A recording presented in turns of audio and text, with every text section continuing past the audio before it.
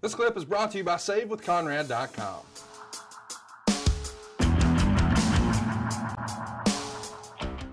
Uh, DX927 writes, Was Arn ever a fan of chocolate cake like JR? Uh, if not, then what's his favorite real cake? Now, let me give you a little peek behind the curtain. On JR's show, he says that when he first went to work for Vince, uh, they had a code word, him and Bobby, Bobby Heenan, not eating. Uh, Bobby would say, uh, Jim, uh, you still got some of that chocolate cake in your room? And it was code for, well, maybe something Rob Van Dam might enjoy. So DX927 wants to know, were you ever a fan of that kind of chocolate cake or was that not your deal? What a big doobie. yeah. Or a little one, a medium sized one. Is that what we're talking about? Yeah. It's been nicknamed chocolate cake by Bobby Heenan and we keep that tradition alive with JR. Uh, well, you know what? I think anybody that says, you know, that grew up my age and went through the 70s and and 80s and all that, and you know, that says they didn't have a little puff experimentally, it'd be lying. Right. I would suggest having that chocolate cake be a real thing, and after you had a puff, have a big piece of chocolate cake. yeah, they go hand in hand. That's for sure. Bet your ass they do. What about uh, your actual favorite type of cake? Not not a not a not a gimmick, but a real cake. What's your favorite go to? Well, I think I've mentioned this on the show before. Erin makes a chocolate cake that I get usually just on my birthday. That she actually melts the uh, Nestle morsels mm. into the batter or into the uh, not the cake, but the icing. Right. It, and it becomes real heavy and it is real moist and is it's one of those that instead of a day or two later it gets dry, this one gets even more moist for whatever magic she puts in it.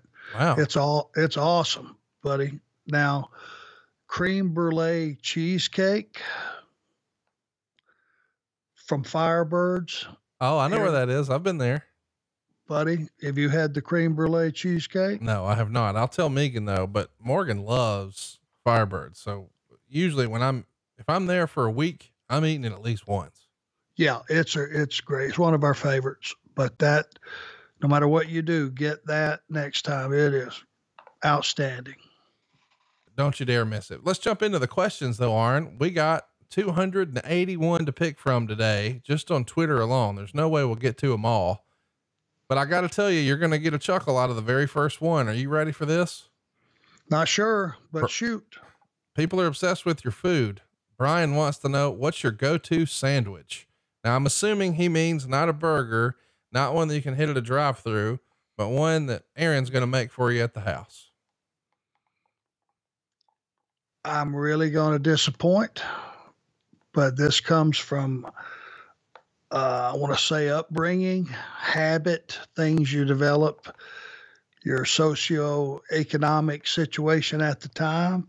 It's going to be bol- bologna with a little mayo on white bread, and Bryan bologna would be the one of choice.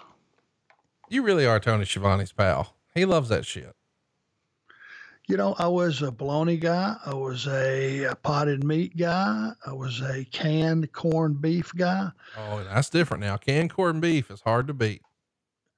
Stir it up with some onions in a pan. Back to that that fresh white bread with a little mayo, a little pepper. Good to go.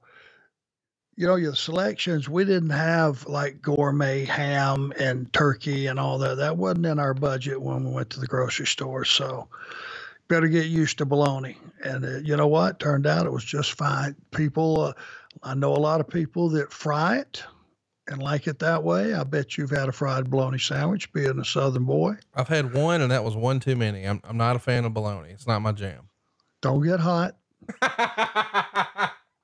but the raw bologna, I mean, I just still enjoy a, a bologna sandwich. You know, um, speaking of baloney, you know, your your pal Tony Schiavone, he's full of baloney. And once upon a time, we did a word association on the show. This was probably three or four years ago. And he said, uh, or I said, elegante. And his exact response was roll of bologna, World of baloney? roll of bologna, like the whole loaf, like not a slice of baloney, the whole baloney. Oh, you're talking about the chunk baloney from. I, I, that's your boy Tony. Uh, just you know, connect the dots. Hey, hey, it's Conrad Thompson. Thanks for checking out the podcast here on YouTube.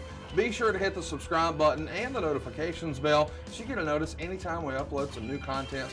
And go save yourself some money right now. If you're in a 30 year loan or you have credit card debt, it's not a matter of if I can save you money, it's a matter of how much.